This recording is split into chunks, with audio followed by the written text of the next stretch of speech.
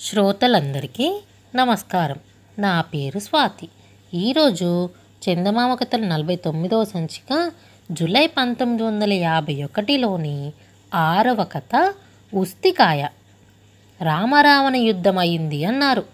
అంటే లోకకంటకుడైన పది తలల రావణాసురుడు అతని పరివారము నాశనమయ్యారన్నమాట. అవునా?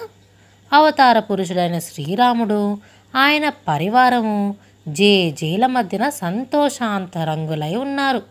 అయితే శ్రీరాముడి పరివారం ఎవరు కపీవరులు.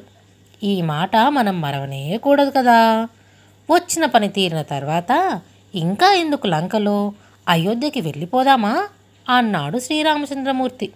వెంటనే వెళ్ళి విభీషణుడు పుష్పక విమానం తీసుకొచ్చాడు. అన్నట్టు పుష్పక విమానం అంటే తెలుసుగా? అది ఒక చిత్రమైన విమానం. దాని మీద ఎందరు ఎక్కి కూర్చున్నా ఇంకా ఒకరికి సరిపడే చోటు ఉంటూనే ఉంటుందట. రాముడు సీత లక్ష్మణుడు ఇంకా ముఖ్యులు విమానం ఎక్కారు. వారితో పాటు హనుమంతుడు ఎక్కాడు. కపిసేనకు నాయకులైన అంగద సుగ్రీవాదులు అలా రంగం మీద నించొనే ఉన్నారు. వారి శిక్షణ కింద కపివీరులంతా తోకలు నడుముకు చుట్టేసుకొని చేతులు నులుముకుంటూ బారులు తీర్చి నిలబడ్డారు. పోయి వస్తాం అన్నట్టుగా శ్రీరాముడు ఒక శాంతయుతమైన చల్లని చూపు విసిరాడు. చెప్పలేక చెప్పలేక లాంఛనప్రాయంగా దయించండి అన్నారు నాయకులు. ఈ సమయంలో రాముడు కపి వీరులందరి వైపు కలయజూశాడు. రామప్రభువుతో ఏదో విన్నవించుకోవాలనే ఆత్రం వారి ముఖాలలో గోచరించింది. కపివీరులు గుసగుసలాడజొచ్చారు. ఉష్! అని వారిని అదమాయించారు నాయకులు. పెళ్ళుబికిన ఉత్సాహంతో కపివీరులంతా ఒక్కసారిగా కిచకిచమన్నారు. మా ఎదుటనే ఇంత ఆగడమా? అన్నట్టు నాయకులు వారి వైపు గద్దింపుతో చూశారు. ఈ పాటి తెలుసుకోలేడా? ఆ సుగుణాభిరాముడు? అంగదా? సుగ్రీవా? కపివీరులను మీరు భయపెట్టకండి. వారి మనసులో కోరికలు నిర్భయంగా చెప్పనీయండి. వారు సామాన్యులు కారు. మనకు యుద్ధంలో జయలక్ష్మిని చేకూర్చిన శోభన దేవతలు.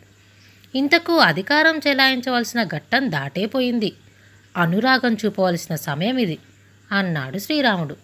ఈ అభయానికి సంతోషం పట్టలేక కపివీరులు తోకలు సర్దుకొని మరొక్కసారి కిచకిచలాడారు అప్పుడు వాలయ్య అనే కపివీరుడు జుడుపు వదిలి ముందుకు వచ్చి స్వామి చనవిచ్చారు గనక కడుపులో ఉద్దేశం మనవి చేసుకుంటున్నాం.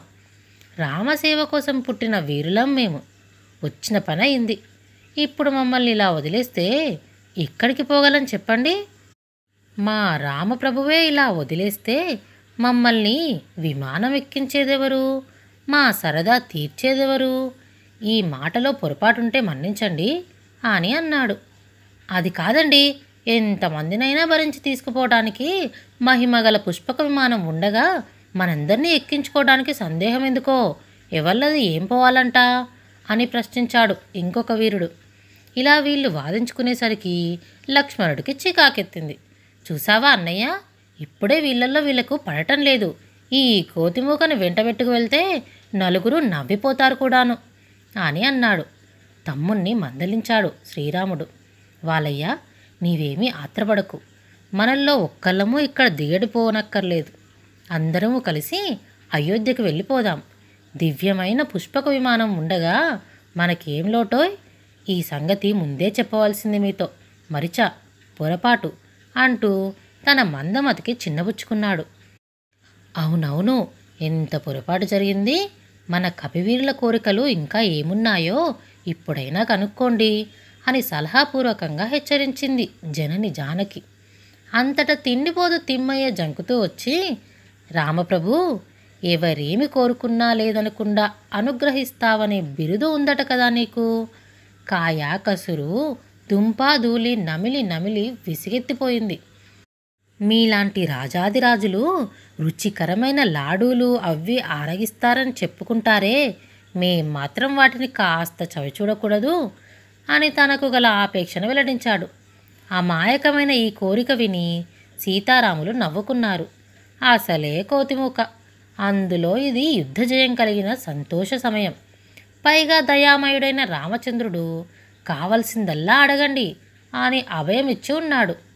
ఒళ్ళు పై తెలియకుండా వీళ్ళు ఇంకా పిచ్చి కోరికలు ఏమేం కోరుకుంటారో అని తలచి హనుమంతుడు హుంకరించాడు వాళ్ళ వైపు తిరిగి. కపివీరులు తలలు వంచారు. తిమ్మయ్య కోరిక విన్న వెంటనే శ్రీరాముడు అలాగే నోయి నా తండ్రి లాడూలు అవి తప్పకుండా తిందురుగాని అయోధ్యకు చేరుకోగానే అన్నీ చేసుకోవచ్చు. జాగెందుకు? రండి! అని అన్నాడు. గిరగిరమని తోకలు ఊపుకుంటూ బిలబిలమని కపివీరులంతా విమానం ఎక్కేశారు. జామ్మని ఝూంకారం పెడుతూ పుష్పకం గగన మార్గాన ఎగిరెగిరిపోయి కొంచెం సేపటికల్లా అయోధ్య నగరంలో వాలింది. అయోధ్యలో దిగి దిగటంతోనే ముందు సీతారాములు కపివీరులకు విందు ఏర్పాటు చేశారు. హనుమంతుడు పెద్దరికం వహించాడు. ఒక్క గంటలో వస్తు సంభారాలన్నీ సమకూడిపోయినాయి. మరొక్క గంట సేపటికల్లా పంచభక్ష పరమాన్నాలతో ఇంతమందికి భోజనాధికాలు సిద్ధమైనాయి. హనుమంతుడు వచ్చి బంతులు తీర్చి అందరూ బుద్ధిగా కూర్చోండి వడ్డన జరుగుతోంది అని చెప్పాడు. ఎలా అయితేనేం ఆంజనేయుని మాట విని అందరూ కుదురుగా కూర్చున్నారు. క్షణమైనా అయిందో లేదో ఒక ఉస్తికాయ వచ్చి బంతి మధ్యన కూర్చున్న ఒక కపివీరుని ఒడిలో పడింది. వీరుడు ఆ కాయకేసి తదేక దీక్షతో చూసి చూసి లోపల ఏమిటి ఉంటుందోననే ఆత్రంతో రెండు వేలతోనే నొక్కాడు. పుసుక్కుమని ఒక గింజ కాయల నుంచి బయటకు జారొచ్చి పైకి ఎగిరింది. ఓసి నాలుగు సంత లేవే నాకంటే ఎత్తుగా ఎగురుదామనే నీ ఉద్దేశం. అంటూ వీరుడు ఆ గింజతో పాటే ఒక్క ఎగురెగిరాడు తమ్ముడు ఎందుకు ఎగురుతున్నాడో? ఏం ప్రమాదం వచ్చిందో? మనం వెళ్ళి సాయపడకపోతే ఎలాగా? అని అనుకొని ప్రక్కనున్న వీరుడు ఎగిరాడు. ఈ ఇద్దరూ ఎగిరేసరికల్లా కారణం తెలుసుకోకుండానే ఇంకొకడు మరొకడు వచ్చి వాళ్ళతో పాటు గెంతులేశారు. అంతలోనే పంక్తులన్నీ చెదిరిపోయి అందరూ ఒక్కచోట మూగేసి ఒక్కలా ఎగరజొచ్చారు. ఇది చూసి హనుమంతుడు ఏమర్రా మీ గోల కూల. ఇంతట్లోనే మీ బుద్ధి గడ్డి తిన్నదే. మన చేష్టలు చూసే అందరూ మనల్ని కోతుల బాగోతం అంటారు. భోజనాల వేళ ఇంత గొడవ చేశారే.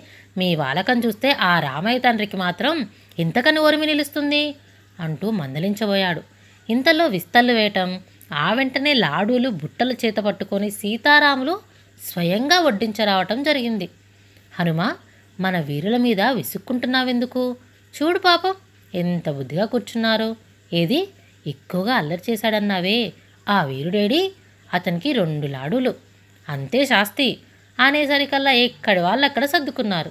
వీళ్ళకి బుద్ధి వచ్చింది పర్వాలేదనుకొని హనుమంతుడు ధైర్యం చెందాడు. జానకీరాములు వడ్డన చేస్తూ ఉండగా ఉన్నట్టే ఉండి ఒక కపివీరుడు శ్రీరాముడు భుజం మీదకి ఎక్కి కూర్చున్నాడు. మరొకడు బుట్టలో లాడూలు బలవంతాన లాక్కున్నాడు. ఇంకొక కపివీరుడు ఊరుకోక జానకమ్మ మెడలో హారం తీసి పరీక్ష చేయబోయాడు. ఏదో మహా తెలిసినట్టుగా. ఇన్ని చేసిన ఆ దంపతులు ఆనందంతోనే ఉన్నారు. నిజానికి కపివీరుల చేష్టలు చూసిన కొద్దీ వారికి సంతోషం ఎక్కువైంది. కానీ వారి పడే యాతన చూడలేక హనుమంతుడు లక్ష్మణుడు కపివీరులను కోపదృష్టితో చూడసాగారు. హనుమ లక్ష్మణ మన బిడ్డల అల్లరి మనకు ముద్దు కాదటోయ్. అయినా వారు చేసేది అల్లరి కాదు. అది నిష్కపటమైన ఆనందం. అన్నాడు రాముడు మందహాసంతో. విందు పూర్తయింది. ఒక్కొక్క కపివీరుణ్ణే ఒడిలోకి తీసుకొని శ్రీరామచంద్రమూర్తి నిమిరేసరికి వాళ్ళకి యుద్ధపు బడలిక ఎక్కడిదక్కడనే ఎగిరిపోయింది. తరువాత శ్రీరాముడి పట్టాభిషేక మహోత్సవానికి అతి వైభవంగా ఏర్పాట్లు జరిగినాయి. ఆ సమయమందు శ్రీరాముడు ప్రత్యేకించి కపిసేనను వాళ్ళ ప్రజ్ఞను ప్రస్తుతించాడు. పైగా నిండు దర్బారులో ఓ మహావీర్లారా భూలోకంలో రామకథతో పాటు రామసేనకు అంకితమైన కపివీరుల కథనము కూడా నడుస్తూనే ఉంటుంది. కపివీరుడు కంటబడితే చాలు మానవులకు రామాయణ కథ జ్ఞాపకం వస్తుంది. అటువంటి అవినాభావ సంబంధం ఉంది రెండింటికి. మీ సంతోషమే నా సంతోషం అని తెలియటం చేత మానవులు మిమ్మల్ని గౌరవిస్తే నన్ను పూజించినట్టుగానే భావిస్తారు. ఇంతటి నుండి మీరు దేశమందుండే పుణ్యక్షేత్రాలు చేరుకొని ఉనికి ఏర్పరచుకోండి. అక్కడికి వచ్చే భక్తులు మిమ్మల్ని చూడగానే రామకథ గుర్తు వచ్చి ధన్యులవుతారు.